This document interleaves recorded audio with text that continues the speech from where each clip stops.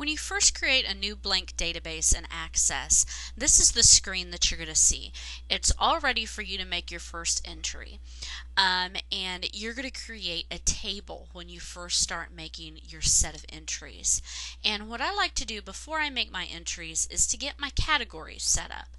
Um, I'm going to go ahead and I'm going to make a database of my work contacts.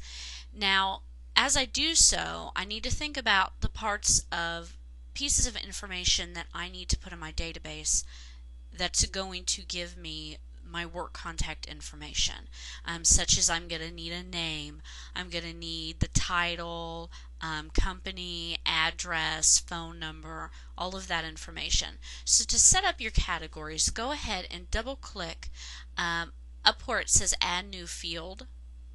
And this is going to be your first category. ID is actually your first category. Uh, go ahead and leave that, and that's going to number and help you keep track better of your um, of your entries. So we're going to go ahead and I'm going to do first name. Press enter on your keyboard when you're finished with that category and it's going to move you over to the next one. You can also use your tab key to do so.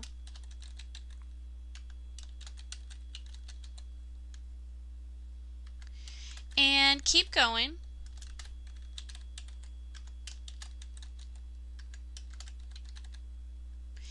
And if you decide that you need a new category or you need to edit the name, then you can um, simply go and you can double click in, into one of these and you can edit it. Um, we're going to go ahead and stick with this, I think. I like these categories. So let's scroll over and let's make our first entry.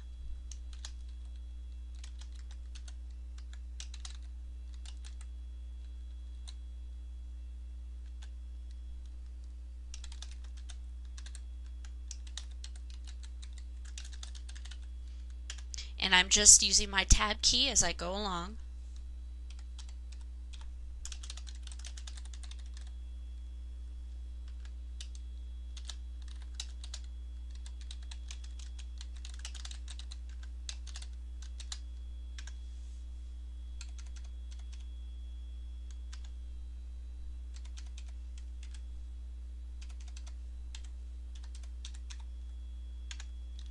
Okay, so I have my new entry. At the end of my entry, I press tab and I come down to the next line. I could press tab again and then go ahead and continue entering my second work contact.